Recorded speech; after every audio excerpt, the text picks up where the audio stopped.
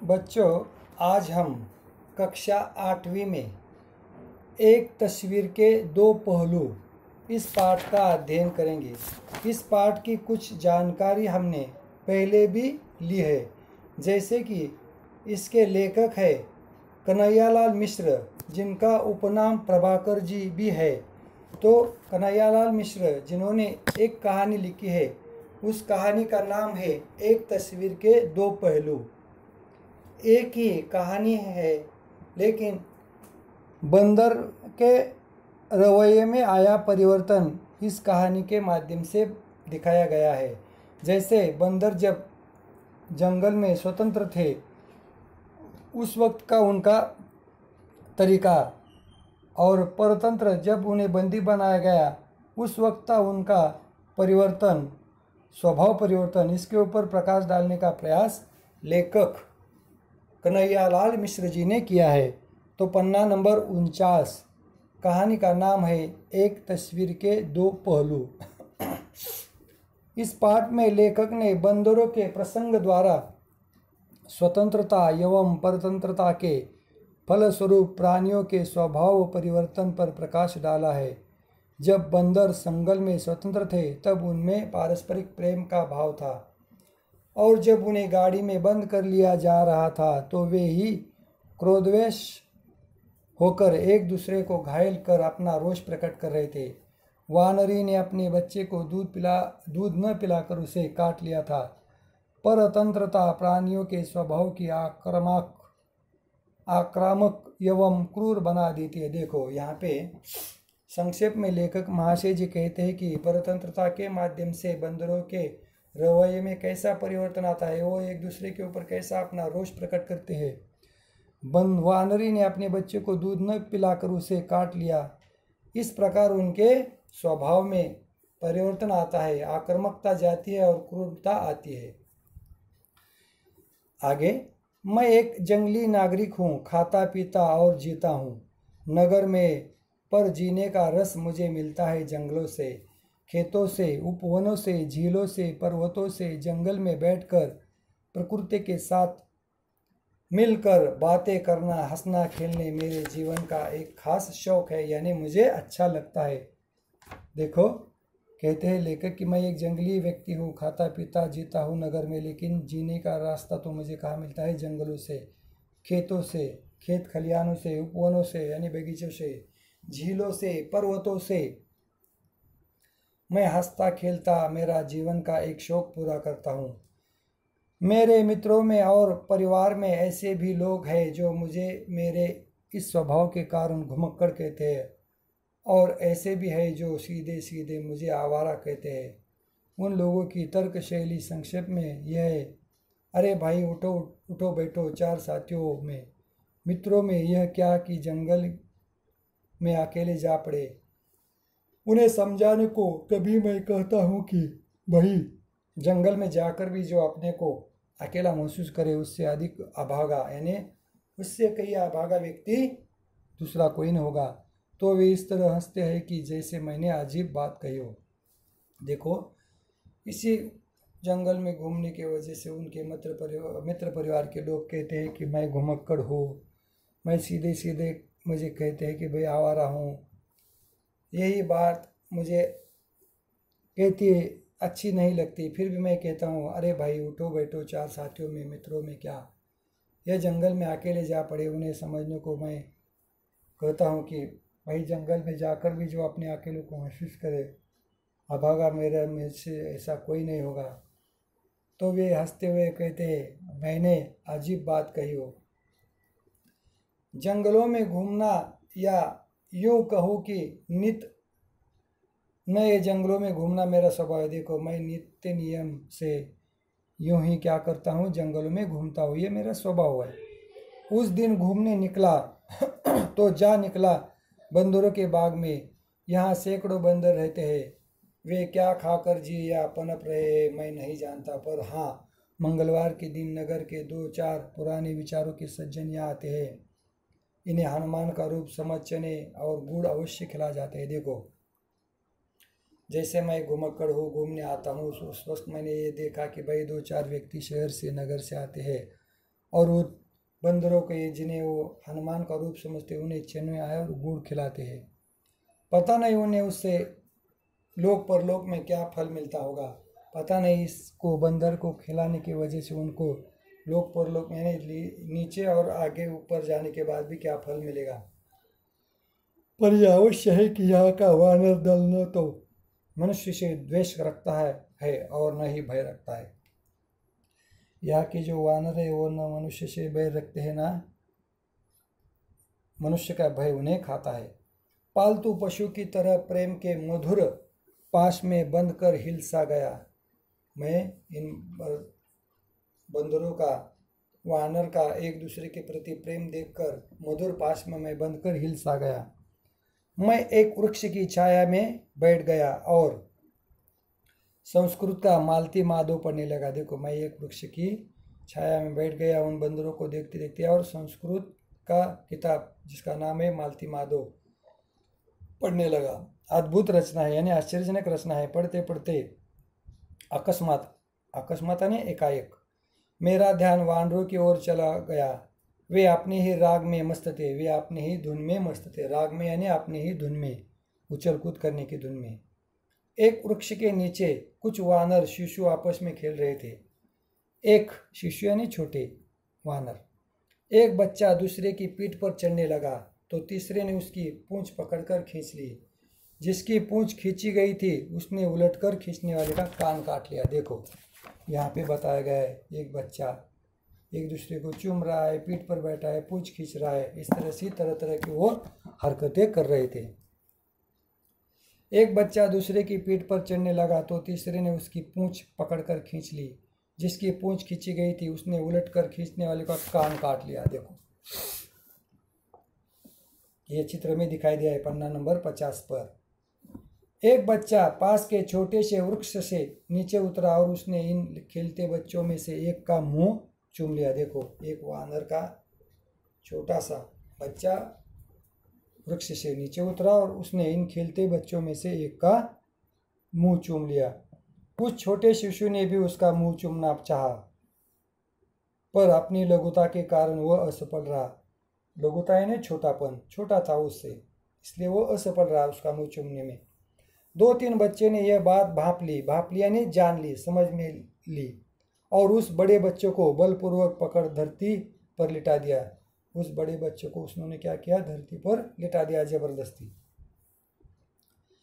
छोटे छोटे शिशु ने यह देखा तो वो उसने लौटकर तड़ातड़ उस, उसे चार बार चुमा और पेट पर एक मीठी कटौती भी काटी। देखो, जैसे ही उस बड़े बच्चे ने बलपूर्वक उसे लिटा दिया गया। शिशु ने यह देखा, छोटे शिशु ने तो वो नीचे लौट कर उसने तड़ातड़ चार बार उस बच्चे का मुँह चूमा और फिर पेट पर एक मीठी कटौती भी काटी। अब वह फुदक फुदक कर नीचे से उठा और उनमें से एक को गुदगुदा कर फिर पेड़ पर चढ़ गया। वो क्या करने लगा? फुदक फुदक कर। वो जीत गया, ऐसा आविर्भाव किया उसने और उसने क्या किया? एक को गुदगुदा कर फिर पेड़ पर चढ़ गया, यानी ऐसे खुजाया। प्यार में भी हार भी जीत है, जीत भी हार है। प्यार में हार भी जीत है और जीत भी हार है। चारों ओर शैशव का साम्राज्य छा छा गया। चारों ओर सरसता बरस बरस गई। शैशव यानी छोटे बच्चों का साम्राज्य चारों ओर छा गया। सरसता बरस बरस गई। एक दूसरे वृक्ष के नीचे एक वानर माता अपने छोटे शिशु को सुलाने का प्रयत्न कर रही थी। वे अपनी बाल सुलभ चंचलता के कारण इधर उधर उछल कूद मचाने में चेष्टा में थे। एक दूसरे वृक्ष के नीचे एक वानर माता अपने शिशु को सुलाने का प्रयत्न, प्रयास कर रही थी। वे अपनी बाल सुलभ चंपल, चंचलता के कारण, वे अपनी बाल सुलभ चंचलता के कारण वो बच्चा इधर उधर कूदता था। कूद मचाने की चेष्टा में थे। माँ जब तक एक को सुलाने का प्रयत्न करती, तब दूसरा उठकर दौड़ता। देखो, एक को सुलाने का प्रयत्न करे तो दूसरा उठकर दौड़ता। और जब वो दूसरे की ओर दौड़ती तो पहला अपनी बाल क्रीड़ा बाल क्रीड़ा आरंभ कर देता। जैसे तैसे, तब तक वह एक को हाथ में दबोच पाती, तब तक दूसरा उसकी कमर पर चढ़ उसे धराशायी करने के विफल पर अत्यंत अध्यवसाय पूर्ण प्रयत्न में जुट जाता है। देखो, दूसरा बच्चा क्या करता है? उसकी पीठ पर चढ़कर उसे धाराशाही करने का विफल प्रयत्न करता है, क्योंकि उसके ताकत के बाहर होता था। माँ अत्यंत व्यस्त थी। दोनों बच्चों को संभालने में माँ अत्यंत व्यस्त थी। और यो भी की परेशान थी, पर उसके मुँह, मुखमंडल पर झुंझलाहट का कोई चिन्ह न था। इतनी परेशान होने के बावजूद भी उसके मुखमंडल पर झुंझलाहट यानी गुस्से का कोई परिवर्तन नहीं था। झुंझलाहट यानी गुस्सा नहीं था। चारों चारों ओर प्रेम का ही साम्राज्य छाया होता। पशु उपाधि वाले इस वानर जीवन से मैं बहुत प्रभावित हुआ और इस वानरों का जंगल में जो साम्राज्य था, छाया होता। उस पशु उपाधि वाले उस वानर जीवन में मैं बहुत प्रभावित हुआ। सोचने लगा, इनमें परस्पर कितना प्रेम है? मैंने सोचा कि भाई, इतने कितना प्रेम है? इनका जीवन कितना सरल है? न ईर्षा न द्वेष, न दूसरों को गिरा कर स्वयं आगे बढ़ने की पतित भावना, पतित यानी नीचापन दिखाने की भावना। प्रकृति की पुनित गोद में यह अलग ही अपनी दुनिया बसाए बैठे हैं। प्रकृति की एक पुण्य पुण्य गोद में पुनित यानी पुण्यवान गोद में यह अलग अपनी दुनिया बसाए बैठे है। मैं कवि के कल्पित जगह से कपियों की इस प्रत्यक्ष दुनिया का तुलनात्मक विवेचन करता हुआ अपने घर की ओर चल पड़ा। मैंने सोचा कि भाई इस कल्पित जगत में कपियों के इस प्रत्यक्ष दुनिया का तुलनात्मक विवेचन कितना अच्छा है। और यह सोचते हुए मैं घर की ओर चल पड़ा। अपनी विचार वाटिका में एका की विहार करता हुआ मैं धीरे धीरे घर की ओर चल रहा था। अपने ही विचार, धुन में विचार, वाटिका में विचार करते हुए मैं विहार यानी चलता हुआ अपने कर, विहार करता हुआ धीरे धीरे घर की ओर आ रहा था। अचानक कहीं पास ही वानर दल की क्रोध भरी खो खो ने मुझे अपनी ओर आकर्षित किया। अचानक वानर की बड़ी क्रोध भरी आवाज़ ने खो ने यानी चीख ने मुझे आकर्षित किया। आके ऊपर उठा, मैंने जो दृश्य देखा, उसने मुझे स्तब्ध कर दिया, मैं आवाक रह गया। जैसे ही आके उठाकर मैंने ऊपर उठा, मैंने जो दृश्य देखा उसने मुझे स्तब्ध कर दिया। मैं आवाक रह गया। आवाक यानी आश्चर्य से स्तब्ध रह गया, सुन्न रह गया। एक जालीदार गाड़ी में पचास साठ वानर बंद थे। एक एक जालीदार गाड़ी में पचास साठ वानर बंद थे। सभी के मुखमंडल पर क्रोध की कठोरता का तांडव कर रही थी। सभी के मुखमंडल पर यानी चेहरे पर। कठोरता यानी क्रोध की आवाज़ तांडव कर रही थी। वे एक दूसरे को फाड़ खाने को तैयार थे, एक दूसरे को काटते थे, फाड़ते थे, चीखते थे। सभी घायल थे, सभी क्षुब्ध थे। मेरे कहने पर गाड़ीवान ने गाड़ी ठहरा दी। मैंने हाथ किया तो गाड़ी ठहरा दी। गाड़ीवान ने बताया, यह सुंदरपुर से पकड़कर हरिद्वार के जंगलों में भेजे जा रहे हैं।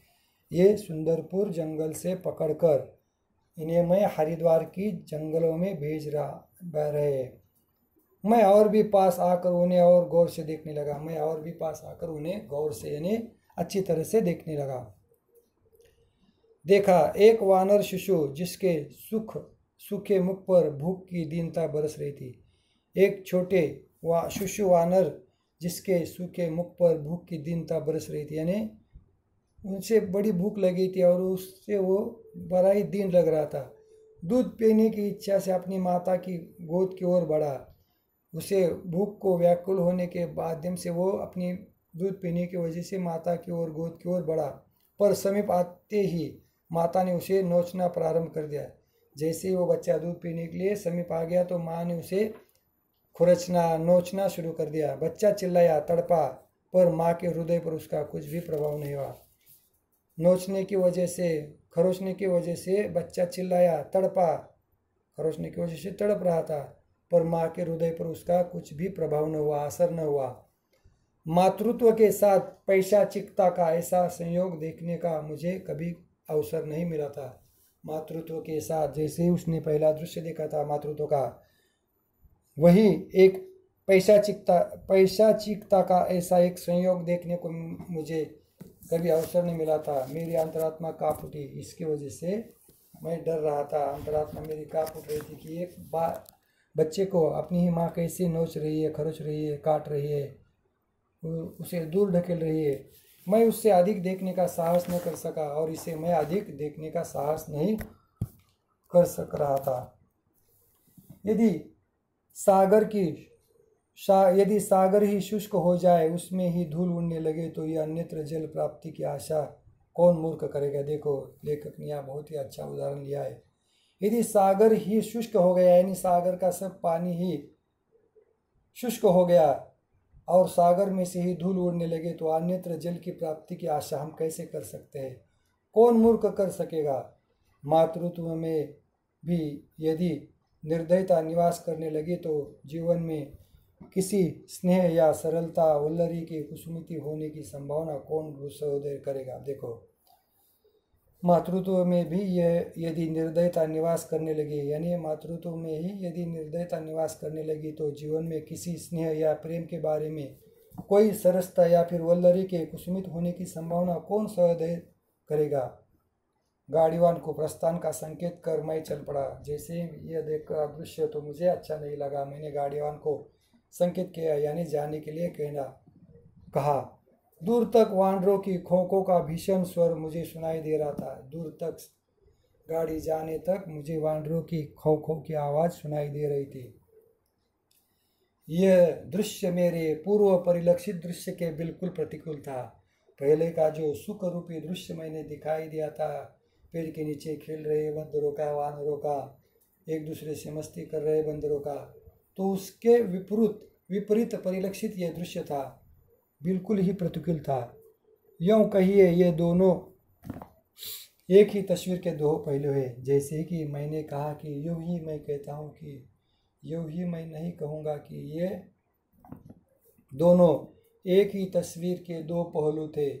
मैं सोचने लगा, जो प्राणी उपवन में प्रेम की पुनित प्रतिमा सर्वस्ता की सुंदर निधि और स्नेह का सागर है, वही गाड़ी में बैठकर दानवता का अवतार क्रोध का ज्वालामुखी तथा हृदयहीनता की मूर्ति कैसे हो गए? देखो, जैसे मैं सोचने लगा कि वही उपवन के जब पुनित प्रतिमा सरसता से भरे वानर बंदर एक दूसरे से प्यार कर रहे थे, स्नेह कर रहे थे, वही जब गाड़ी में बैठाए बैठ कर ले जाने लगे तो दानवता का अवतार हो गए, दानव यानी राक्षस का अवतार हो गए।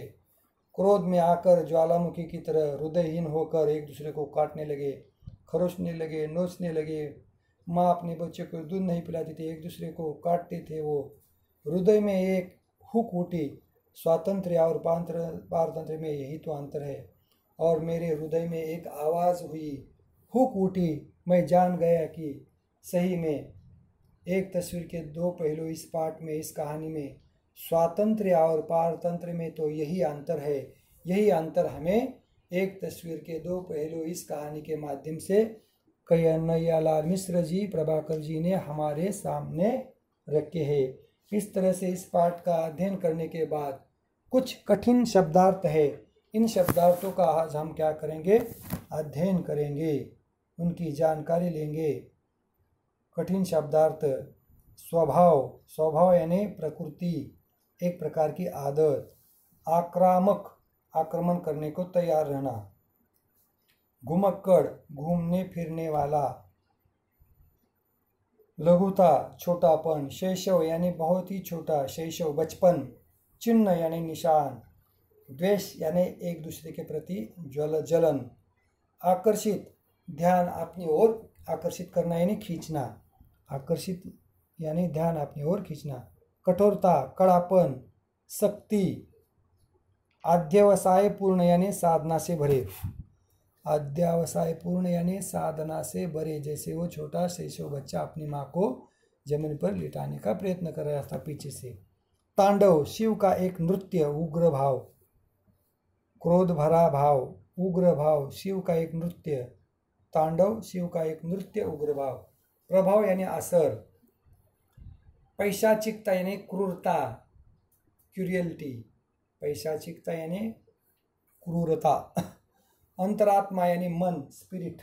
अंतरात्मा याने मन स्पिरिट. संभावना याने आशा उम्मीद होप. संभावना याने आशा उम्मीद होप. क्रोध का ज्वालामुखी बहुत अधिक गुस्सा होना. क्रोध का ज्वाला ज्वालामुखी यानी बहुत अधिक गुस्सा होना.